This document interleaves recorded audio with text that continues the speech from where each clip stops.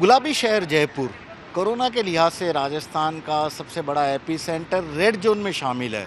Corona के जितने मरीज़ आए हैं 2500 से ज़्यादा अब तक संक्रमित मरीज़ सामने आ चुके हैं। उसमें से नौ, साढ़े नौ सौ से ज़्यादा अकेले जयपुर में आए हैं। बावजूद उसके देखिए लोगों की तादाद कितनी ज़्यादा है। यहाँ पर लोग कितनी सारी गाड़ियों में निकल चुके हैं। हालाँकि कई लोग ज़रूरी सेवाओं से जुड़े हैं, लेकिन आधे से ज़्यादा को शायद ज़रूरी नहीं था कि ये लोग बाहर निकले।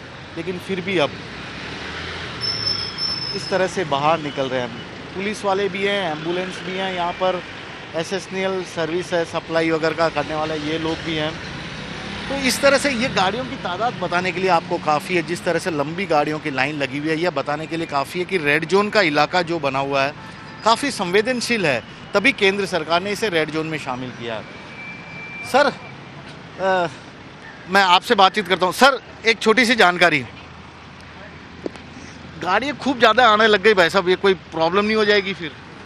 एक सेकंड सुनो हम देखो प्रेस अटेंड नहीं कर सकते। ये प्रशासनिक स्तर का ये प्रशासनिक स्तर का फैसला इनका ये कहना है लोग निकल रहे हैं। सावधानी पूर्वक निकलना पड़ेगा इन लोगों को।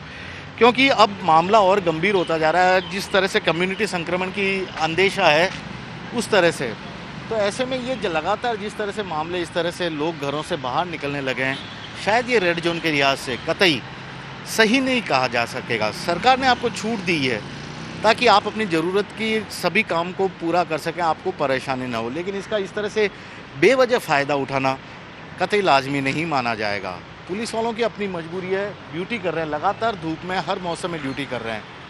लेकिन लोगों को भी समझना होगा कि शायद ये रेड जोन बन चुके जयपुर के लिहाज से, बिल्कुल भी सही नहीं होगा। कैमरामैन दिनेश कुमार के साथ श्रीवत्सन, जयपुर न्यूज़ 24